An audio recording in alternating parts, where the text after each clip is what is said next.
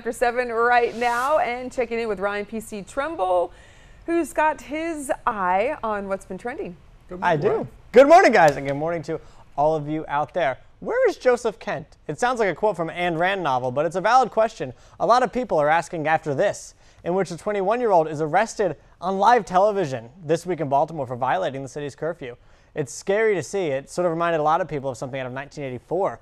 He just is in front of the police officers, and that uh, tank pulls up, and then it pulls in front of him as he's arrested, and we don't see him again after the tank pulls away.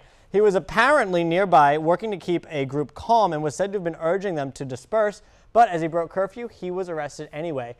Um, it blew up on social media and tons of people wondering where he actually ended up. Now, on Wednesday, an area attorney did confirm that he was alive and well and in police custody. Next up, a man in LA decided to help out a neighbor by building her a house.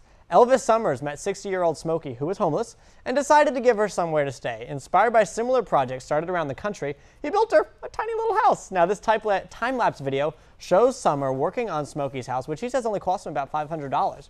After other homeless folks in the area caught sight of it, said they wanted a house too, Summer started a GoFundMe page to try and raise money to help as many people in the area as possible. Last up, if you're not watching comedian Amy Schumer, you're wrong.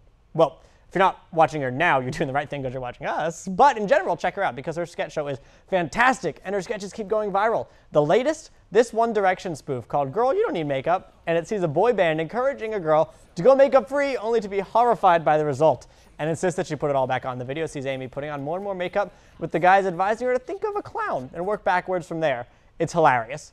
But she's not just a comedian, she's a social media maven, and she asked her followers to tweet their own makeup free selfies and she would retweet them, causing the hashtag girl you don't need makeup to trend and causing lots of people's self-confidence to go up. And that's a look at what's trending this morning. Carolina in the morning. We'll be right back.